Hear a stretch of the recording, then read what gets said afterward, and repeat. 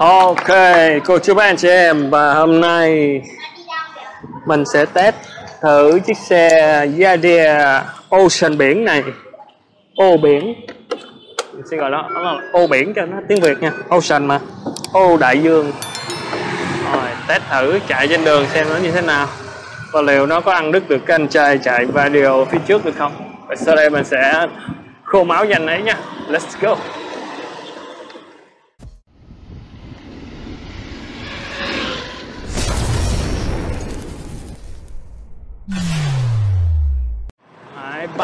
Ba luôn chú anh chị em Lên luôn nè, Đó luôn đây. Ây chà. Anh bươn qua đằng rồi. Ok. Ủa sao nó hết tiêu tít tít rồi ta? À. Rồi, let's go. Thì à, hồi nãy à, đã có một người chạy thử xe này và chạy ra đường thì nói nó có cái cảm giác rất là bồng bềnh à, các bạn ha. Cảm giác bồng bềnh này à, rất là dễ hiểu thôi, bởi vì bánh nó chỉ có 10 inch nha các bạn.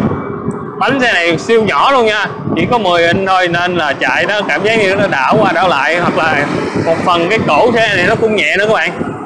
Xe này không có buông tay được nha, nó đảo hết nước chấm luôn các bạn. Ừ. đúng là bồng bềnh thiệt thì xe này chỉ đi ờ, cái cái quãng đường gần thôi.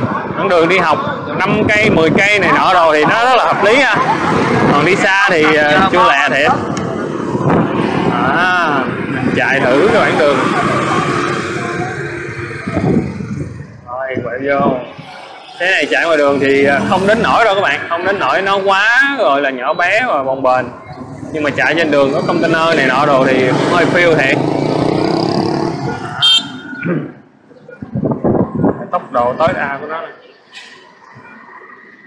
à, cái tiếng tiếng tông nó nhỏ quá các bạn.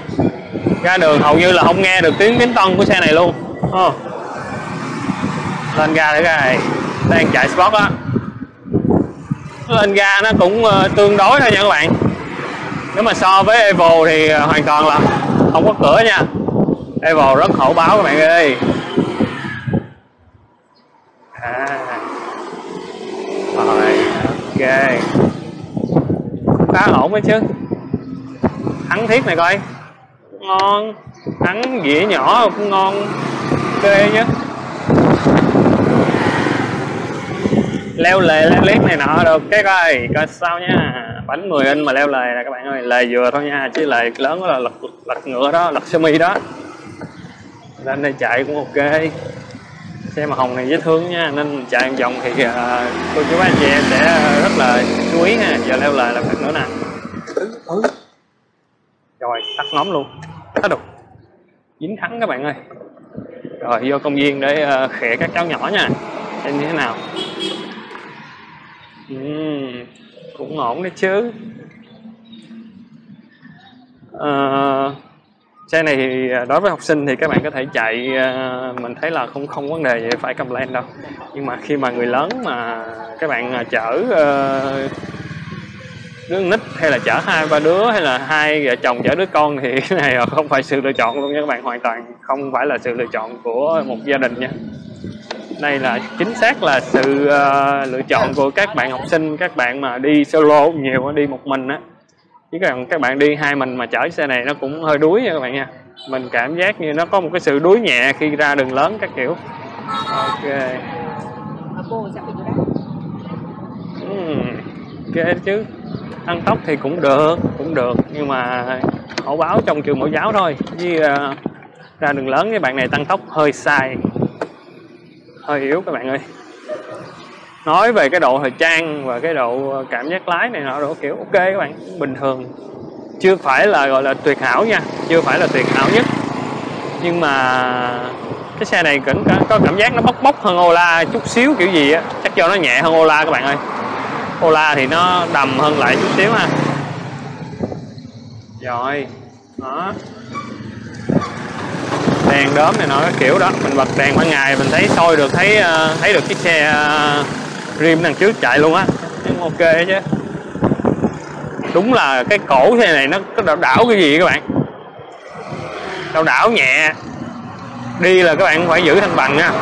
Chứ nó không có ý là nó đảo nhẹ thôi nó không có thể là nó nó hư nha các bạn là do sát xe nhẹ và trọng tâm nó thấp. Nhưng mà cái cổ của nó làm như ờ, nhà sản xuất không có siết á. Không có siết mạnh á nên nó nó hơi ờ, mình cảm giác như xe nó đảo đảo cổ cái gì á.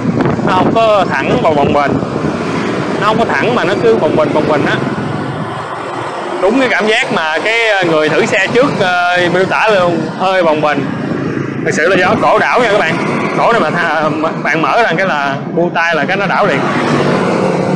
Cái xe này nó có bị ờ, một cái một cái bệnh là nó bị mất ga tạm thời nha. Hồi nãy mình bị hai lần nè. Giống như dính thắng người ta. Đang chạy cái nó nhưng nó mất ga nhẹ cái các bạn. Nổ ghê ta. Nãy giờ bị hai lần một lần mình leo lên lề á. Một lần là nãy mới bị luôn á mình phải nói luôn các bạn.